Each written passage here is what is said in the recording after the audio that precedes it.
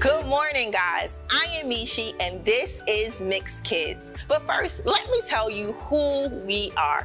We are a mix of people coming together to change lives and change the world. We want to give you guys fun and exciting ways to know God so that you can tell others about God's love. I am so happy to be here with you this week. Last week, we talked about how Jonah got swallowed up by a big fish because he was not obedient to God. Today is Mother's Day. Don't forget to say Happy Mother's Day to those special ladies in your life. You have to say thanks for being so incredible, Mom.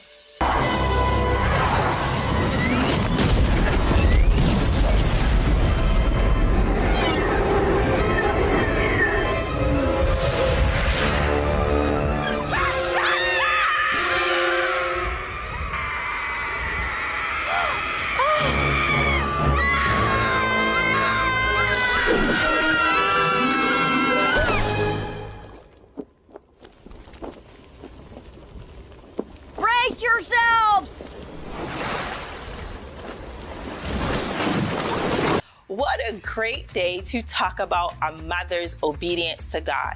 One of the things that I love about God's word and the Bible is that God gives us stories to read about real people who made really good choices, as well as some people who didn't make so good choices.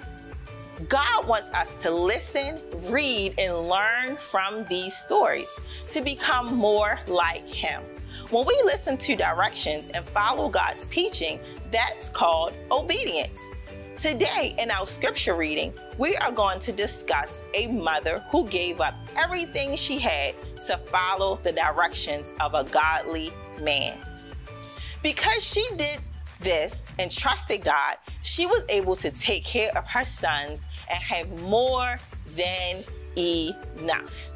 Enough vegetables, enough oil, enough bread, enough everything. During biblical times, people needed olive oil to make almost everything they ate. They used it in their lamps for light. Therefore, it was always important to have enough oil available for daily needs. In addition, most of the women did not have regular paying jobs to help with their family's income. When a poor married woman became a widow, a widow is someone whose husband has passed away. It is very difficult for her to support her family. Take a look at her story. The message for today's story is God's people care for one another. Has your family ever asked to borrow something from a neighbor? Maybe some flour or sugar or perhaps a garden tool. A poor widow once borrowed some unusual things from her neighbors. The poor widow came to Elisha with tear stains on her face. My husband was a good man who loved the Lord, but now he is dead, she said. The man my husband owed money to says if I don't pay him, he will take away my two sons to be his slaves. How can I help you? Elisha asked gently. Tell me, what do you have in your house? Nothing, the widow answered. I have nothing except for a little oil. Elisha thought about her need. Go to all your friends and neighbors, he said, and borrow as many jars as you can. Then go home and shut the door. Pour the oil from your jar into all the empty borrowed jars. So the widow and her sons filled their house with their neighbors' empty jars. Then the woman shut the door, and she began to pour oil from her jar into the first borrowed jar. The oil kept flowing, and soon that first jar was full. And she poured into the next jar, and she poured into the jar after that. And she kept going and going, and soon she lost count. She just kept pouring until all the jars were full. Bring me another jar, she said. There aren't any more jars, mother, her boys exclaimed. You filled them all. The woman's eyes sparkled. She hurried out of the house and ran to find Elisha. I did exactly what you said. I borrowed as many empty jars as I could, and now they're all filled with oil, and I still have oil in my jar. Elisha smiled. Go and sell the oil, he said. Pay back what your husband owed, and you will have money left over for you and your sons to live on. The widow woman praised the Lord for the miracle of the oil. She thanked God for taking care of her, and she thanked him for Elisha and her neighbors. That day, the widow and her sons learned that they could trust the Lord to take care of them. We can trust God to send the right people to take care of us too.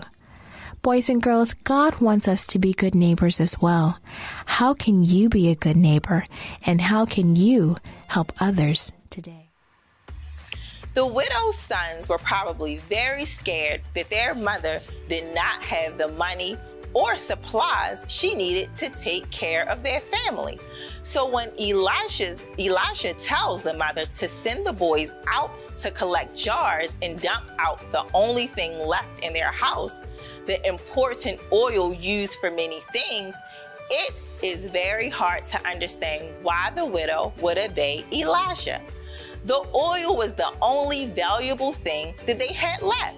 The widow was probably desperate to have the little oil that she had. The widow's son trusted their mother and followed her directions. The widow obeyed God's instructions. As a result of her obedience, he performed a miracle to provide the widow with all she needed and more. As kids, sometimes it's hard to follow your parents' instructions because we do not understand their purpose or we think we know better. God's word tells us we should honor the teachings of our parents and remember the things our parents do and teach us. Above all, we should follow their instructions. When we do, our wisdom will grow and grow. God sees obedience toward our parents as honoring Him, just as our Bible verse states for today. Help me say it together. Honor your father and your mother so that you may live long in the land your Lord your God is giving you. Exodus 20 and 12. Thanks so much for helping with the memory verse.